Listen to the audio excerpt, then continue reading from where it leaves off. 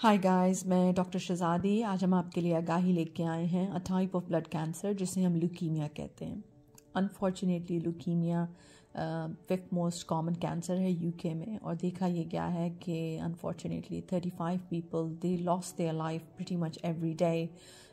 every day in the UK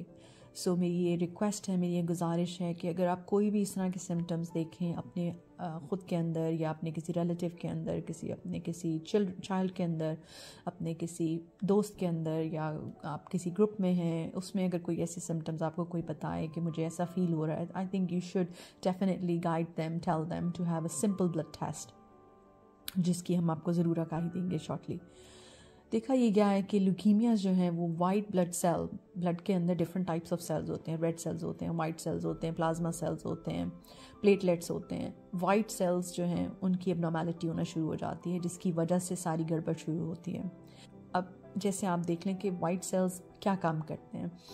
इनका function ये होता है कि अगर कोई बग है, कोई वायरस है, कोई छोटी सी इन्फेक्शन है, छोटी मोटी बॉडी में white blood cells they have the capacity to fight it back for you अब ल्यूकीमियाज में, क्योंकि वाइट सेल्स जो हैं, वो एबनॉर्मल हो जाते हैं, वो ठीक से काम नहीं कर पाते तो डेफिनेटली फ़र्स्ट ऑफ़ ऑल आपकी इम्यूनिटी बहुत कम हो जाती है। सेकेंडली आपको बार बार इन्फेक्शन होती हैं। सिंपल खांसी, नज़ला, ज़ुकाम chest infection urine infection any type of infection really वो बार बार होती है। थर्डली फटीग टायर्डनेस बहुत ज़्यादा एग्जॉशन इतनी सिवियर होती है कि आप देखते हैं कि एक्चुअली मैं तो पूरी रात सही तरह से सोया था, लेकिन फिर भी मैं इतना सिवियर टायर्ड फील कर रहा हूँ। वेट लॉस देखा गया है अनएक्सप्लेन जिसमें आप कोई डाइटिंग भी नहीं कर रहे, आप एक्सेसिव जिम एक्सरसाइज कुछ भी नहीं कर रहे। इसके अलावा देखा ये गया है, क्योंकि आहिस्ता आहिस्ता ये सेल्स जो है उसमें ये देखा ये गया है कि और डिफरेंट सेल्स की भी अब शुरू हो जाती है। प्लेटलेट्स भी ख़राब होना शुरू हो जाते हैं और उसमें ब्रूजिंग बहुत इजीली देखी गई है। लाइक बड़े बड़े ब्रूजेस बन जाते हैं, बड़े भी और छोटे भी बन सकते हैं एक्चुअली ऑन द बॉडी और उसको आप एक्सप्लेन नहीं कर पाते कि आप कहते हैं कि एक्चुअली मेरी तो कहीं भी टक्कर नहीं हुई थी कोई ट्रामा नहीं हुआ मैं कोई स्पोर्ट्स नहीं खेल रहा था। I don't know why have got all these bruises suddenly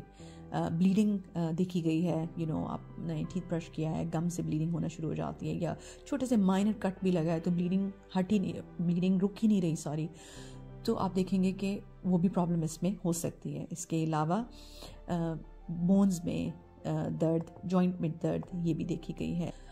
so so, अगर आप देखें कि अगर ये नॉन स्पेसिफिक सिम्टम्स हैं द मोस्ट इंपॉर्टेंट वन अगर कोई भी ऐसी इन्फेक्शन जो बार बार हो रही है और आपको बार बार एंटीबायोटिक खानी पड़ रही है